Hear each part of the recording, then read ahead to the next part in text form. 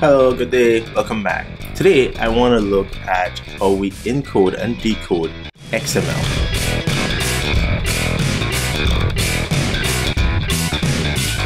Here I am in my directory called Go on the Run. So this is what I'm calling this little series here for YouTube, which I'm just going to post some short videos on just random stuff.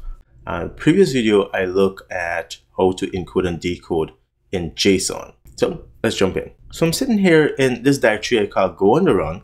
And the only directory I have, eh, subdirectory I have here is the, from the previous eh, video, which is the go JSON go code.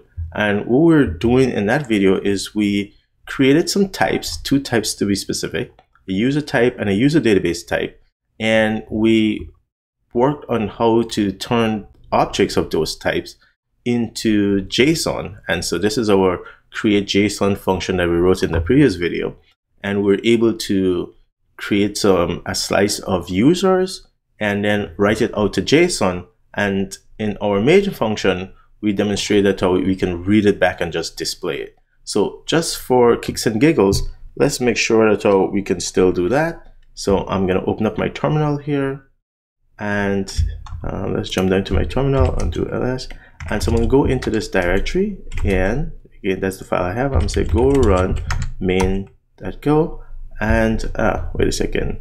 Um, so this is the file I'm supposed to create. Okay. Uh, I commented how the create part because every time I run this program it's going to try and create a file. So I run that. And so notice how it created this JSON file for me. And so let's say format on that document. And so that's my JSON document. And there's my simple type at the bottom. And then it read it back so hence why I had commented out this code to show that um, if you assume that we already have a JSON file, so that's gonna save, and I run it again, um, it's gonna read that file. So this time it did not create it. Okay, all right, so now we wanna do pretty much the same thing for uh, XML. And so I wanna reuse some of this. So what I'm gonna do is I'm going to create a directory. So this is my JSON directory here. I'm going to create a directory called xmlgo. So let's call it xmlgo. And of course it's empty. And I'm to create some other directories also. What I want to do is reuse our types. So for XML code, we don't have to recreate the types. And you can imagine that you're writing an, a web application and you have some types that you want to support for either getting JSON documents and writing it out or getting XML. And maybe you want to support both XML and JSON. So there's no reason for you to recreate your type. So we want to share our type. So that's exactly what I'm going to do. I'm going to create a directory here. I'm going to call it types, for example. And what I'm going to do is move into this directory all my types. So let's go here. I'm going to cut it. I'm going to go to my types directory and I'm creating a new file. Let's just call it type.go. I mean, I could call it types.go if I wanted to too. And then package, and this is a package in types, the directory name. So one of the things I can do, instead of saying type type, I can just say type open parentheses. And then now I can just move my types into here. And then now I get rid of this and I don't have to say type both times. And then now if I save it, so that's good. But we, or now we have broken our program. Um, if I try to run this, it's not going to work now because our type is in a different directory. So if I run this, you see uh, types undefined. So now I have to go here and say types that that user, that's where my types are defined now, types that user database. And let's see where else am I using a type um, somewhere in here to load uh, my data. Yep, here we go. Types that user database. And so I'm gonna save changes.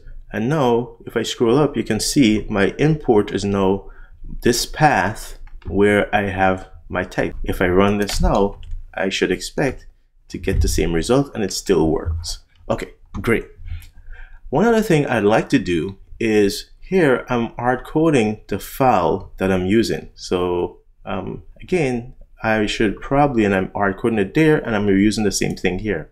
So what I'm gonna do is cut this and I'm gonna say JSON file or input file if you like.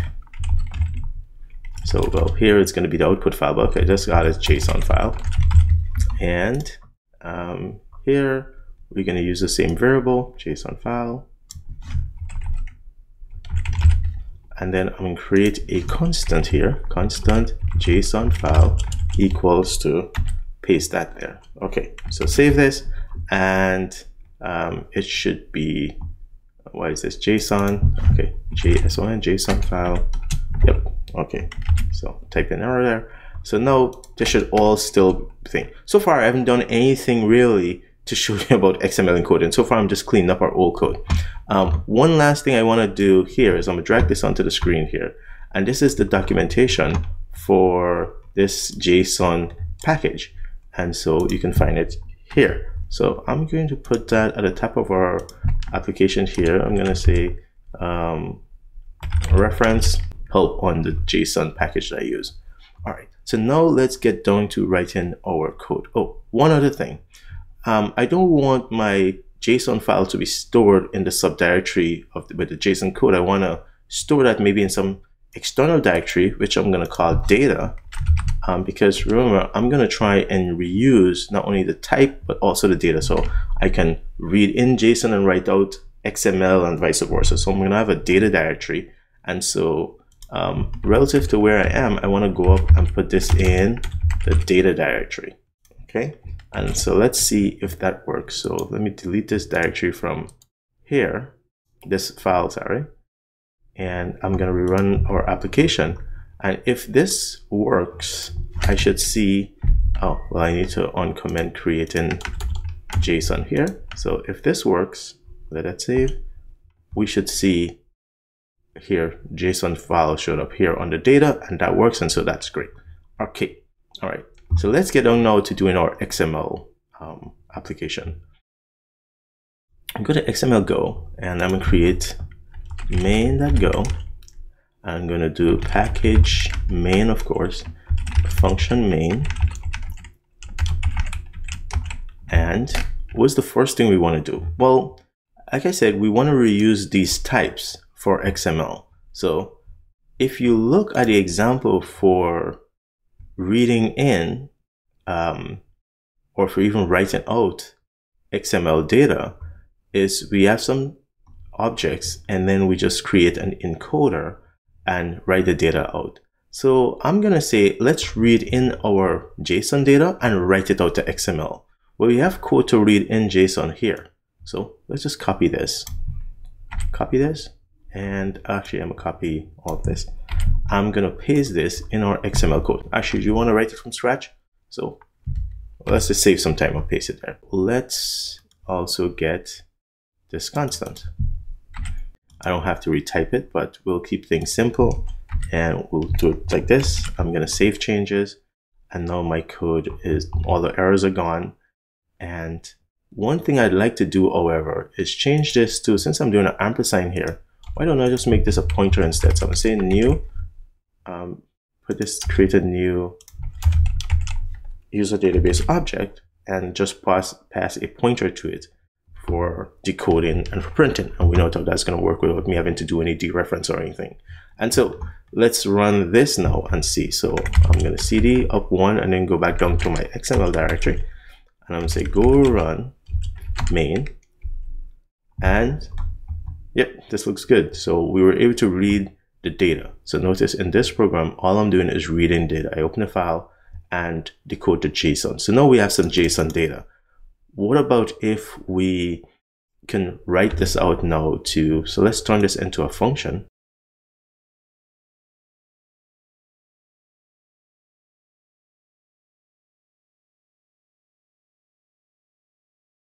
Um, so I like that. Um, so I'm going to leave that that way. Then I'm going to scroll up and I still, we're missing a function main because we renamed our function main just now. And so I'm going to say database comma error colon equals to read JSON file and I'm gonna pass it to JSON file it should read. Okay, and then I say if nil not equals to error, then log that fatal ln uh, error. Okay, otherwise I know that oh, I have a valid database um, object populated from JSON. So what I want to do now is write that out as XML. So like we said before, what we do, we need a file to write stuff out to. We need a writer. So if we do XML encoder, for example, colon equals XML.new encoder, right? Notice we need, we need an IO writer, which is some place to write our XML to. So that's going to be a file. So we have to create a file. So I'm going to say f error colon equals os that create, it's a new file, it doesn't exist yet, and this is going to be our XML file. So I'm going to call it XML file. We don't have an XML file yet, but I'm going to do like this. And again, I could sort of just put all of these in one by doing that. So I'm going to call this XML file. And this is going to be XML It's my XML database file. And so um, I'm going to create the file. If I have any problem creating it, I don't expect to have any. So if nil not equals to error, then again, I'm to log fatal uh, ln and error. So why didn't weren't we able to create this file? I don't know before closing this file, my XML file that is. All right. So I've created an XML file, it's empty, and I give it as a writer to my XML encoder, which means anything I encode this XML goes into that file, which is exactly what we want. So what should we encode? Well, we should encode the object that we read in from JSON, right? And we stored in the user database object. So I'm going to say XML encode that encode, and now I can pass it this DB object. And that should be all the she wrote and let's see if this works. So if I go up there and I run this, no error, and then notice I have an XML database file. Let's see what's in it, and I'll reformat. And so this certainly looks like an XML document. Um, there's some things, unlike our JSON document, notice, oh, we have things in lowercase and so on. Where is our JSON output? Uh, JSON output. Yep, JSON output here Let's format it. We have things in lowercase and so on. So we can we can certainly fix that up, but at least it's looking good right away. And all it took us is about two lines of code to do it, besides having a writer where we had to create a file. But other than that, it was fine. So let's go to type.go. And what I want to do is make this the first type to appear in our file. That doesn't change anything really. I mean, if I rerun our code here, um, all it does is it put types the type first. That's all it does. Move it from the bottom to the top. Now, here's a problem. This says user database is our inclusion or root element and type users. Do we really want each one of these to be a user? Seems like each one of these should be a user and not a user and not users. So we can go back to type and notice how we have these tags that help us to know, if tell the JSON encoder and decoder how it should treat our type, right? So we can do the same thing for XML. So we do space, we say XML colon, and we want this field, which is called users, to be just called user only instead of user. And then we want XML, this field to be just called type instead of uppercase type. And we can go ahead and do the same thing with these other ones. So we want XML colon email. Notice there's a space XML colon password space XML colon username. All right, so let's rerun our code and see what happens. So we rerun this and we'll go back to our XML and reformat the document. And as you can see, this is called a user exactly as we would like. So this is much better. So if we look at our XML now, we notice that we still have this type here that's being this root element being called user DB. And it seems like what we really want is this to be called users. So let's go back to our types and try to fix that. So one of the things we can do is using the XML package, there's a special type in it called XML name. And so we can say XML name, and the type of that is XML.name, which come from the XML package itself. And I'm going to tag it. I'm going to say XML colon, and we want to call this users. Okay, let's save this. And we just need to rerun our XML code and let's see how it encodes it this time. So we go back here and format and there we go. Our root element is being called users. There's a problem that we have just introduced though, because now our type includes this new field called XML XML.name. The JSON code, even though we don't say how to encode it in JSON, the JSON encoder will still try to encode it. And we can see what that's going to look like if we go up one and then go into our JSON code and then go, go run main.go. And if we look at our JSON code and we format that too, we'll see here is that field that we have encoded, but we don't really want this field. This is really just for XML so we can get this root element to have a name that we want. So we want to be able to say, JSON encoder, I want you to ignore this field. So how do we do that? Well, we say JSON colon dash. Well, I, think uh, it's, let's see. I don't think it should be encoded as. So I think that's it. We're gonna try this and see. Uh, yeah, let's put this in quote and see. All right, otherwise it uh, probably wouldn't make sense. All right, so this dash says, I do not want this to be encoded. And so if you put a comma, it means something else, like encoded with the actual value of dash, I think. But I think this means ignore it. And we can check the documentation if we don't get this to work. So I save that and let's rerun it again. And now I'm gonna go look at my JSON code and it does not look like it's included. Great. So that's exactly what we want. We want to ignore that this field when we're doing JSON, but when we're doing XML, we want to include it. All right, and we already saw that that works for XML exactly like we want. There's some other things that you can do with XML that doesn't make sense in JSON. So for example, what if we wanted to attach a user ID attribute to each user? And we don't want that to be a sub element of the user, but an attribute of user. So how would you do that? Well, let's go back and let's add a ID field to um, called int to our, we said JSON. This is going to be called ID. And I'm going to ignore the whole if empty thing. And I'm going to say colon for XML. It's going to also be called ID. I'm going to save this. And let's run. And I really don't, well, let's go to our JSON code. And for each user, give them ID, ID colon, you're one, and id colon your 2 let's just do that. And since we're in json already let's rerun this code. And let's look our json code. Format it. And there we have each user have their own id well what does this look like when we run it for xml so go run main and now let's look at our xml and reformat. This is a little annoying, I have to reformat.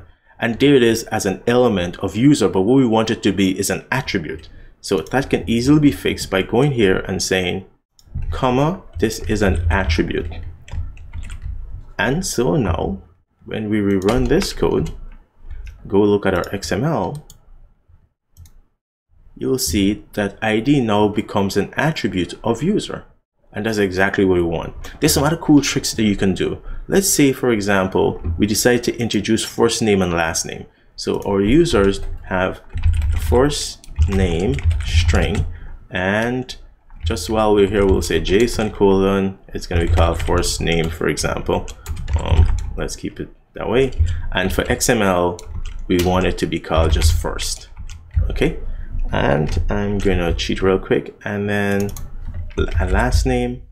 And we'll call this last. And last. Okay? So this is exactly as you expect it should work for XML when we go back to our XML code we're gonna see first name first and last. We don't have any values so it's empty right now But what if we want these two to have a parent element? Well, we can do that very easily by going to our type and saying that first is a sub element of name and last is also a sub element of name.